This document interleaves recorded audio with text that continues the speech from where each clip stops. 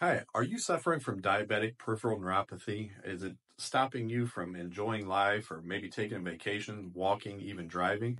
Well, I'm Dr. Aaron Andrews at PC Medical Centers. I'm a chiropractic neurologist, and we are the only clinic that treats peripheral neuropathy in the area. And we do this nine different ways, and I'm going to talk about one of them today, and that is infrared light therapy. So, this is one of the things that we use in our clinic. We actually send home with our patients. And there's a lot of different lights out there on the market.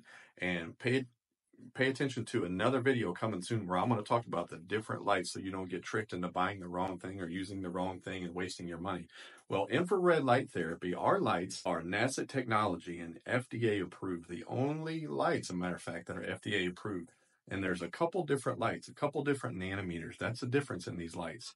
And these do two different things. Remember from my videos, peripheral neuropathy is a blood vessel and a nerve problem. The blood vessels are dying and choking off the nerves, and the nerves start to disintegrate. So we have to treat the blood and the nerves. And these lights are designed, number one, for pain relief, but more important, they do what's called angiogenesis. There's some lights here that open up the diseased blood vessels that are closed. It's called vasodilation. And there's other lights on here that actually help regrow blood vessels, regrow small little capillaries. And I have tons of research for that. So this is one of the nine things that we do. To, to uh, learn about all the other ones, if you want to, give us a call here at the office, 335 9188, for a free consult.